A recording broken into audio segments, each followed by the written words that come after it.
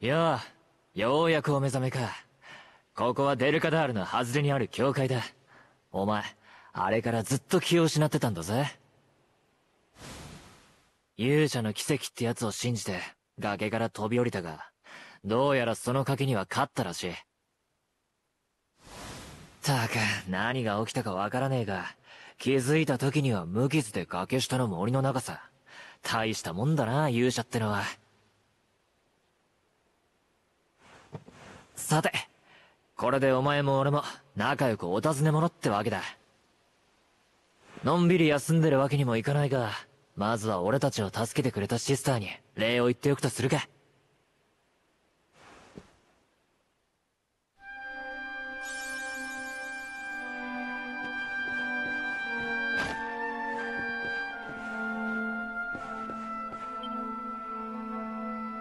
あら旅の方お連れの方のお体はよろしいのかしら？なあもうバッチリさ。あんたのおかげで助かったぜ。よかった。それは何よりです。ですがお気をつけて先ほど不穏な話を耳にしました。何でも凶悪な囚人たちが牢を脱走しこの辺りをうろついているそうです。一体どんな恐ろしい人物なのか。えっと、そいつは大変だね。それでその、町の様子はどうなっているんだ？町は何とも物々しい雰囲気です。逃走中の二人の囚人を追って、兵士の方々が懸命に探されています。それに、あの大英雄グレイグ将軍までもが、囚人が来た医師という村への道を封鎖しに、自ら南の渓谷地帯へ出陣されたとか。あら、ごめんなさい。不安にさせてしまったわね。大丈夫。きっとすぐに悪人は捕まりますよ。それまではこの教会を宿と思ってお好きに使ってくださいな。なあ、そうだな。すまないが少し世話になるぜ。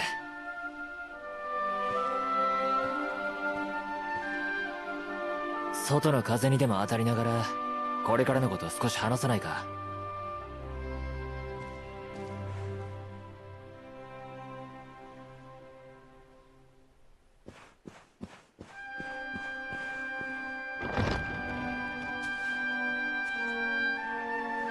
医師の村聞いたこともないがあの渓谷地帯に村があるとは驚いたな。お前はそこの出身なのか？村のこと気になるだろうが早まるなよ。今来た道を戻ったところでグレイグの野郎に捕まるだけだ。奴に見つからず医師の村に行くには別の裏道を使うしかない。俺ならその道を知っている。何だったら案内してやってもいいぜ。だが先に俺の用事を済まさせてくれ。デルガダールの城下町に忘れ物があってな。そいつを取り戻しておきたいんだ。牢から連れ出してやったんだ。それくらいの頼み。聞いてくれてもいいだろよし決まりだ。けどこのままじゃちょいと目立つな。待ってろ。適当なもん探してきてやる。ほらこいつを着て顔を隠しな。兵士どもが待ち受ける城下町にそのままの格好じゃ戻れないだろう。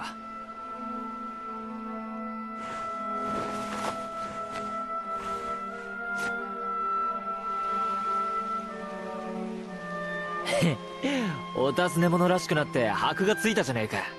それじゃ北に向かって町に戻るぞ。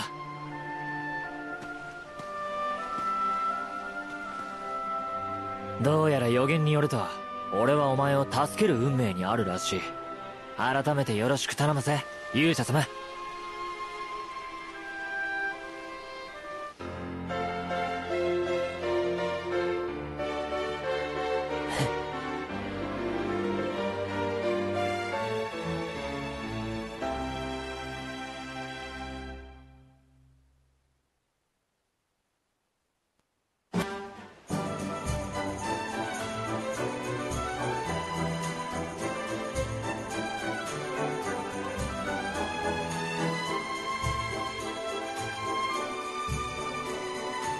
城下町とは違う雰囲気で驚いたろならず者たちが暮らす吐きだめ。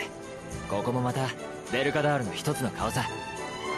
1年前俺は相棒のデクと協力し古代からベルカダール王国に伝わる秘宝レッドオーブを盗み出した。まあ下手を打って捕まりはしたがあらかじめオーブは後から回収できるよう安全な場所に隠しておいたのさ。まっすぐ進んだ先に城下町のゴミを集めたでっかいゴミ捨て場がある。その奥を掘り返してオーブを埋めたんだ。奴ら自分たちが出したゴミの中に自分たちのお宝が隠されてるなんて夢にも思ってないだろうぜ。さあさっさと回収しに行こう。ゴミ捨て場はこの奥だ。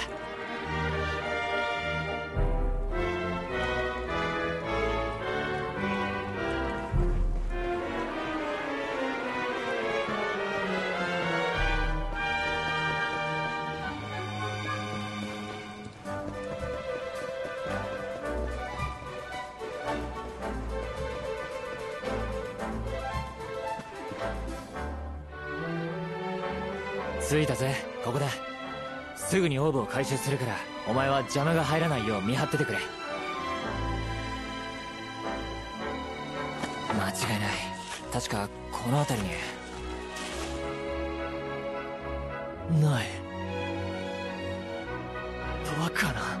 なんでないんだ。この場所を知っているのは俺とあとはあいつくらいしか。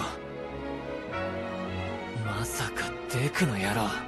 オーブを持ち逃げしやがったのか？くさデクの野郎。見つけ出して締め上げてやれ。お前にもあいつを探すの手伝ってもらうぜ。デクの足取りを追うんだ。この先に俺たちが昔ねぐらにしていた下宿がある。2階建ての建物だからすぐに分かるはずだ。まずはそこへ行くぞ。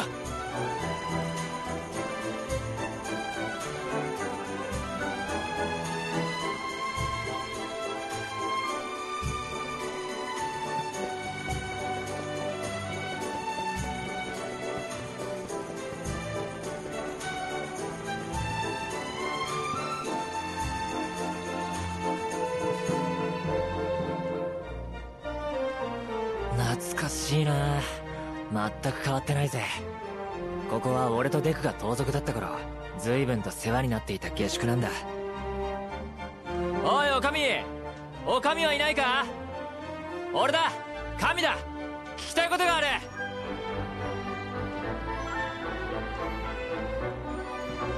おかみはルスか。弱ったな。あの人ならデクの居場所がわかると思ったんだが。焦ったところで仕方がないか。まずはお上を探し出してデクの居場所を聞き出そう。お前は町の東側にある日の宮蔵からお上を探してくれ。お上は見ればすぐにわかるぜ。この辺じゃただ一人の赤髪だからな俺は別の場所を探すとするぜ。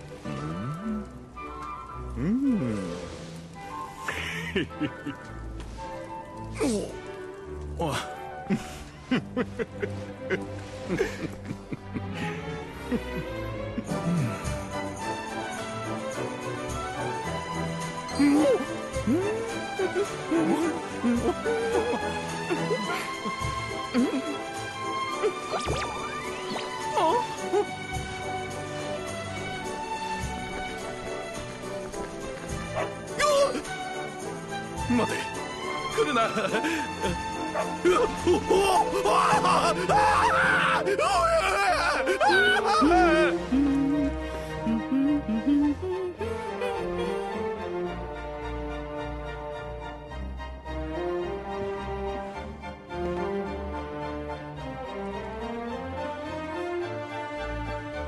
まったくおかみはどこに行ったんだ？お前の方はどうだった？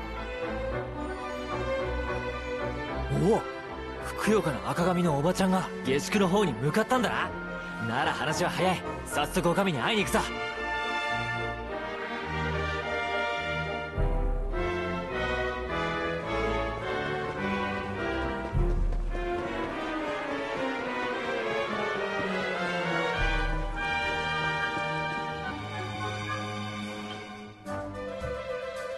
ようおかみ久しぶりだな。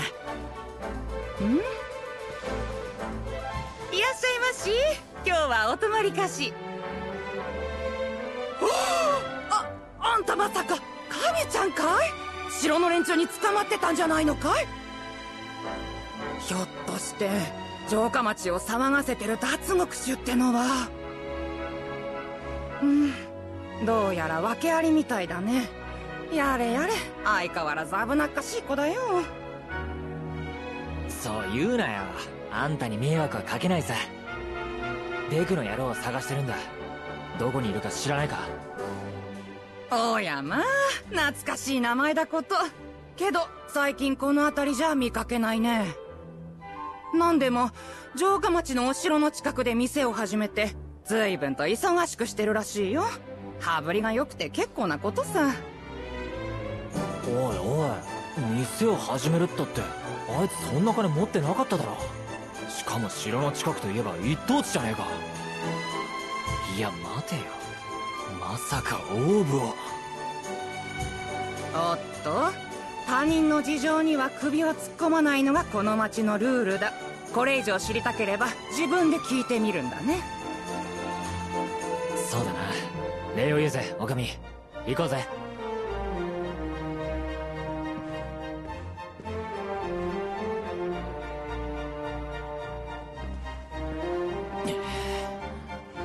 城下町で店をやってるだと。あの野郎俺とオーブを売りやがったんだ。締め上げてオーブの行方を吐かせてやれ。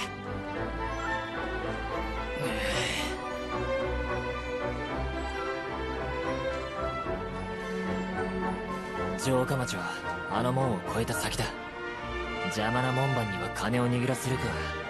だが旅立ち前に余計な出費は避けたいな。そういえばあのモンバー犬に弱いんだっけか。なら誰かに犬を借りて突破しようぜ。目指すは城下町。城の近くのデクの店だ。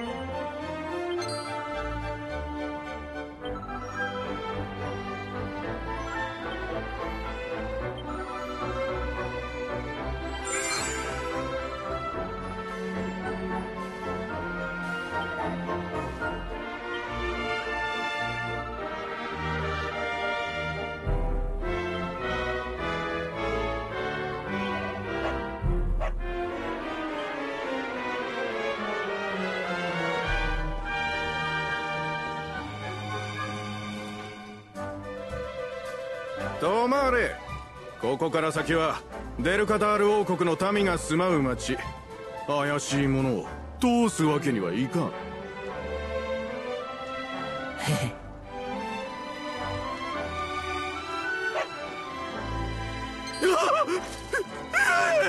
勘弁してくれ。犬だけは犬だけは。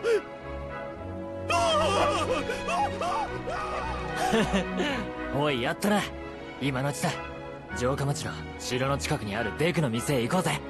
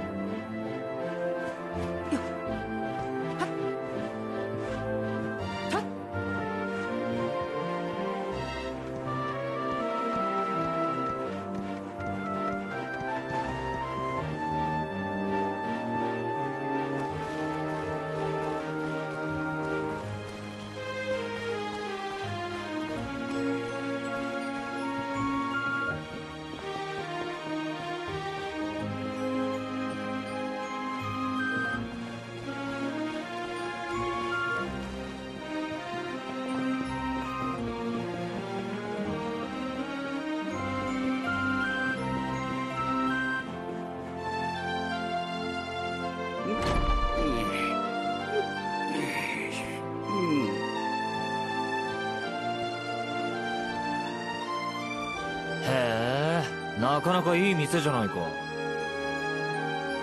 いらっしゃい。うちで扱ってる品はどれも全部一流の品物よ。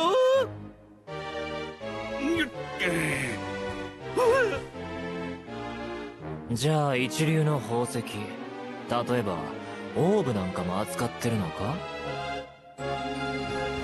兄貴？久しぶりだなデクえ？兄貴。神の兄貴。お化けじゃない。本物の兄貴だ。無事でよかった。ずっと心配してたんだよ。おいひっつくな離れろ。むさ苦しいねえ。たく調子のいいこと言いやがって。この店だって俺を裏切ってオーブを売った金で始めたんじゃないのか。裏切るわけないよ。兄貴のことは一日だって忘れたことなかったよ。店も兄貴を助けるために始めたんだから。は？あ俺を助けるため？なんだそれ。大体元盗賊がやってるにしては随分立派な店じゃないか。私盗みの才能はいまいちだったけど商売の才能はあったみたいよ兄貴が捕まってなんとか命だけでも助けようといろいろ考えたのよ。ほっといたらどんなひどいことされるか。だから私オーブを拾ったと嘘ついて王様にオーブを返したのよ。それでもらった賞金で商売始めたのよ。商売で稼いだ金は城の兵士にばらまいて兄貴が早く出てこられるよう裏から手を回したってわけ。はあ牢の床にでかい穴を開けても見つからなかったのはそのせいか？妙に監視が緩くて気になっちゃいたが。でしょ？でしょ？きっと私の渡した賄賂が牢の兵士たちにも効いていたんだよ。うふふふふちはあ分かったよ。疑って悪かった礼を言うぜ相棒。は兄貴分かってくれて嬉しいよ。けどなこれでオーブは行方知れずか。それなら大丈夫。安心しちゃってよ兄貴。ちょっと店の外までついてきて。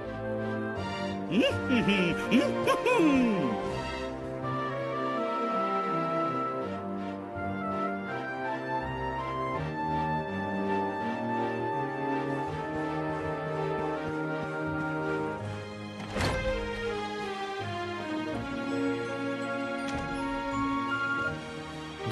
デク何に安心しろって言うんだ？私国にオーブを返した後も人を使ってオーブの行方ずっと追ってたのよ。兄貴が大事にしてたのを知ってたからね。オーブはグレイグ将軍が南のデルカダール神殿に移して厳重に守ってるらしいよ。デルカダール神殿だって？うん確かデルカダール神殿はここから南東。お前の住んでた石とかいう村も多分同じ方角だな。なるほど。手間が省けてちょうどいい。早速デルカダール神殿に向かうとするか。デクお前も一緒に来るか。うん。残念だけど行けないよ。商売始めた後私嫁さんもらってそれに店のこともほっとけないよ。そういやお前は昔から商売やりたいってよく言ってたもんな。分かったよ。嫁さんを大事にしろよな。それじゃあ足がつかないうちに出発するか。デク世話になったな。達者で暮らせよ。うん。兄貴も元気でね。あと連れの人も。私の分も兄貴のことをよろしく